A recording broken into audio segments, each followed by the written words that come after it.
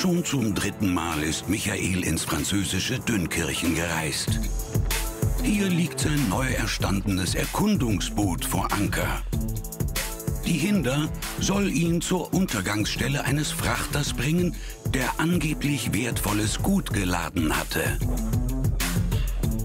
Auf dem Wrack ist Kupfer. Es sollen 160 Tonnen da liegen. Das wäre eine Menge Kohle. Wir müssen uns das holen. Schon jetzt hinkt Michael dem Zeitplan um Wochen hinterher. Noch immer zickt einer der beiden Motoren der Hinder, trotz diverser Reparaturversuche. Jetzt geht's los. Du bist wirklich zuversichtlich, dass es beim 17. Mal jetzt tatsächlich klappt, rauszufahren? Ist ja nicht das scheiß 17. Mal, Alter. Wir haben ein Schiff übernommen, irgendwo in Frankreich, das dritte Mal hier. So, dafür haben wir ganz gut geschraubt. Und Probe gefahren sind wir auch. Wir sind der Meinung, dass wir das jetzt alles machen können und jetzt geht's einfach los. 340 Seemeilen bis ins norddeutsche Büsum. Zwei Tage sind für die Überführung geplant. Beim Ablegen bekommt das Team noch einmal Unterstützung vom früheren Kapitän der Hinder. Good morning, how are you? Well, We go? let's go. Let's go. Nach wie vor hat einer der beiden Motoren Wasser im Öl. Noch einmal tauscht das Team die trübe Suppe aus. Der Rest ist Gottvertrauen.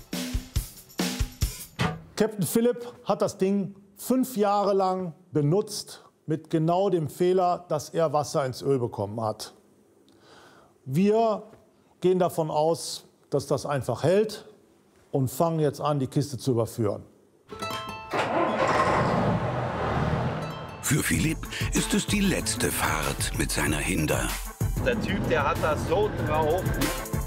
Noch bis zur Tankstelle wird er die Crew begleiten.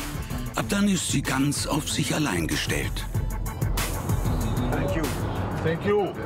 Bye bye. Yes. Jetzt ist er weg.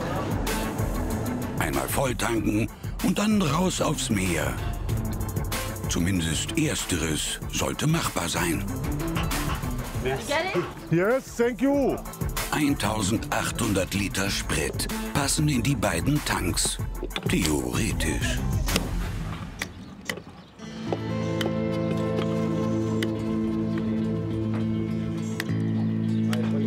Das Problem ist, glaube ich, Fälle. das Gefälle. Drück's mal ganz durch Drück ich.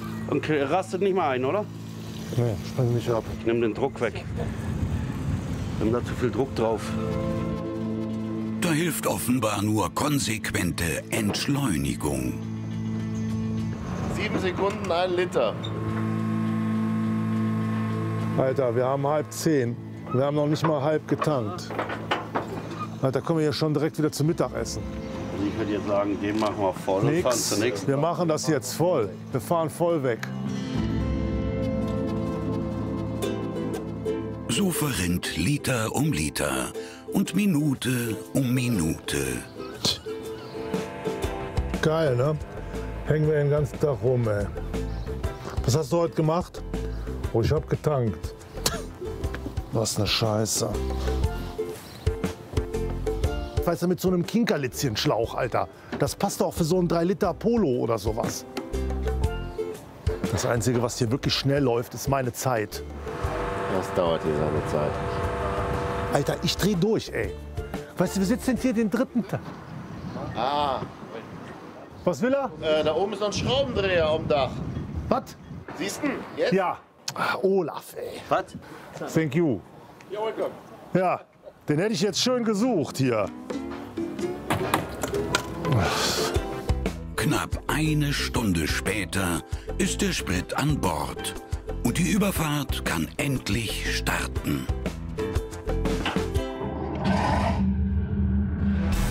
Mike besitzt ein Bootspatent.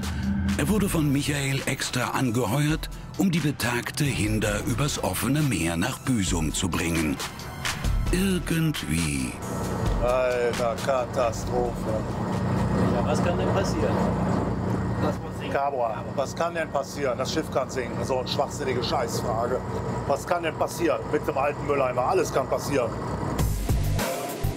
Die erste Etappe der geplanten Zweitagesreise soll ins niederländische Den Helder führen. Auf halber Strecke nach Büsum. Keine Kaffeefahrt, sondern selbstverständlich Arbeitszeit. Egal wie die Bedingungen auch sind, jeder an Bord muss liefern. Ohne Ausnahme.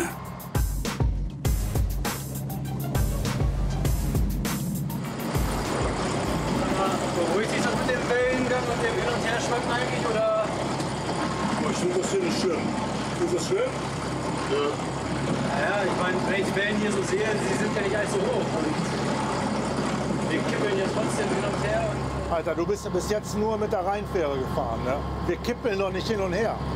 Was meinst du, warum die ganzen Lapdance-Bars hier drin sind? Damit irgendeiner nackt tanzt? Ey, das, wenn das hier abgeht, dann geht das hier richtig ab. Die Nordsee hat das Problem, dass die ganz flach ist. Das bedeutet, die Wellen sind kurz. Und das bedeutet, dass du mit diesem Schiff praktisch die ganze Zeit rauf und runter fährst. Die Wellenhöhe gibt es im Mittelmeer natürlich auch. Mittelmeer ist viel tiefer. Die Welle ist dann irgendwie 100 Meter auseinander. Und das bedeutet, dass das Schiff langsam rauf und, rund geht, äh, rauf und runter geht. Nichts, was dich irgendwie stört. Ein Erlebnis für alle Sinne.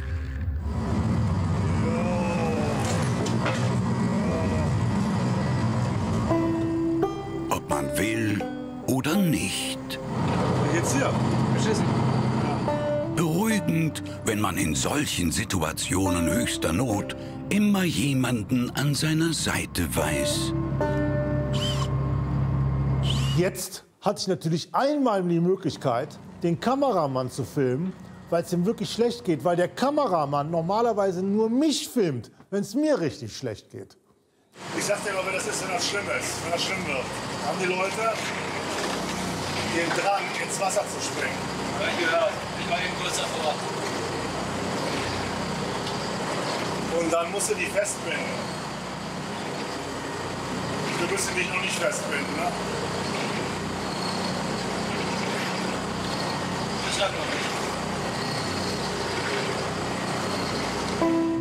Gabor begleitet die Steel Buddies seit mittlerweile fünf Jahren. Sein Ausfall wäre ein herber Verlust. Nee, dass der uns nicht da reinspringt, ne? Hauptsache, es ist immer jemand da, bei dem man Verständnis und Halt findet. Und sei es nur die Reling.